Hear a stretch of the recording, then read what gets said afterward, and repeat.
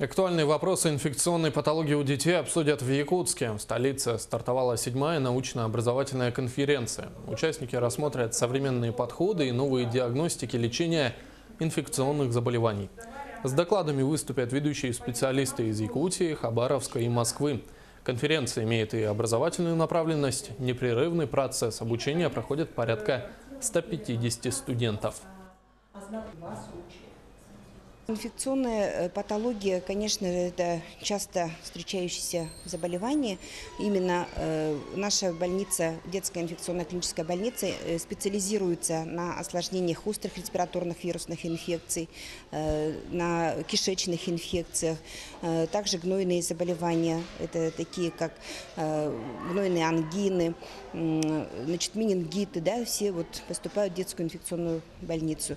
И, конечно, заболеваемость в, период эпидемии возрастает во много раз, э, и э, с осложнениями дети поступают в нашу больницу.